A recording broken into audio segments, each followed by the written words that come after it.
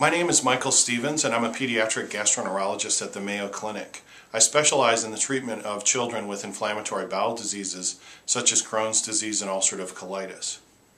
I'd like to talk about a recent paper that was published in the journal Inflammatory Bowel, Bowel Diseases.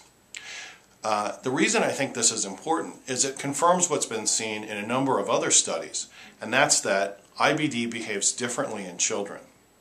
That probably means we need to treat children differently than adults.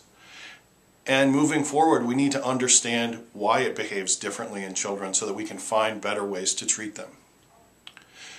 What did they do?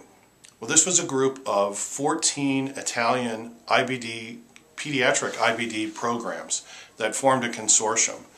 And they looked at every child they diagnosed with IBD and followed them for a minimum of six months and they looked very carefully at how their disease behaved. What did they find? Well, they found that a significant number of children with IBD are very young, under the age of 10. For a long time, people have thought of IBD as a disease of adults, or perhaps some of the patients are, are developed this during late adolescence. When we looked at, in this study, all children with IBD, 11% of them were under the age of 10. Other studies have shown that number to be as high as 15%.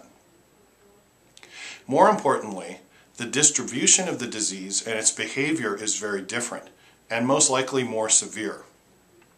In children with ulcerative colitis, and in ulcerative colitis the disease is limited to the large intestine, in children they're much more likely to have extensive involvement. And by that I mean it includes the entire large intestine.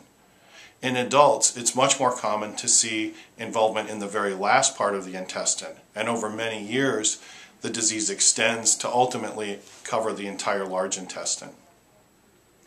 When we look at the other common form of IBD called Crohn's disease, children are much more likely to have involvement only in their colon. Crohn's disease in general can involve any part of your GI tract, not just the colon or the small intestine. But in very young children, it's much more likely to involve only the colon. This can create some challenges for the physicians taking care of these kids. It can be important at times to know whether somebody has Crohn's disease versus ulcerative colitis. And if the Crohn's disease is only in the colon, that can be somewhat confusing. In fact, when they followed these children over time, the younger patients were much more likely to have their physicians change their diagnosis. Why is this important? Well, I think one thing this tells us is that we can't use adult-based models to determine how we treat children. This is a different disease in children. We really need to understand the mechanisms that are driving this different disease in younger patients so that we can use the treatments that we have available today more effectively and that we can identify treatments that are much more effective for children, newer treatments. Now, if you have a child in your family with IBD, it's easy to think of this as somewhat disheartening news.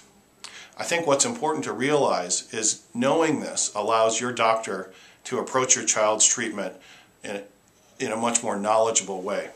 This is also informing uh, how the people who make decisions about the research agenda for pediatric IBD use their resources.